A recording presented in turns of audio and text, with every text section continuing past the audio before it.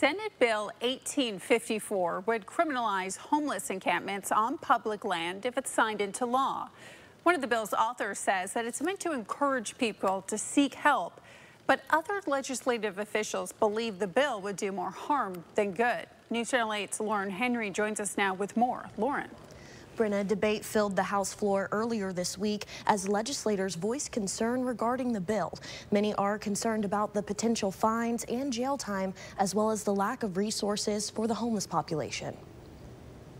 Senate Bill 1854 has made its way to the governor's desk. If he decides to sign it into law, then it will become illegal for the homeless population to establish unauthorized camps on state owned lands, resulting in fines, imprisonment, or both. This is about as lenient as you could get. And the point is to put forth something that will incentivize getting people into the treatment that they deserve and also give our law enforcement the tools where they legally can do what they're already doing now. Democratic representatives questioned the bill, highlighting the lack of resources available to the homeless population and the extra cost to taxpayers that the passing of this bill could result in. I think you know doing this without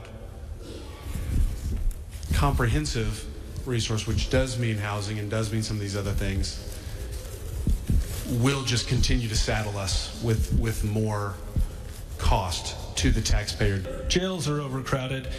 There's a lack of beds and homeless shelters, yet you want to incentivize people who are homeless to seek resources by adding additional barriers or additional compounding effects to their poverty. I spoke with the CEO of John 316 Mission about his thoughts on the bill and if he believes its approach will be effective. I can appreciate the those that believe this will be an incentive for the homeless to have pressure to not be homeless. Uh, but uh, unfortunately, hunger, the dangers of being outside, and uh, all the challenges of homelessness are pressure enough. And uh, from our experience, just one more thing that gives them a warrant or legal requirement to, to take care of is just that much more difficulty for someone who's experiencing homelessness.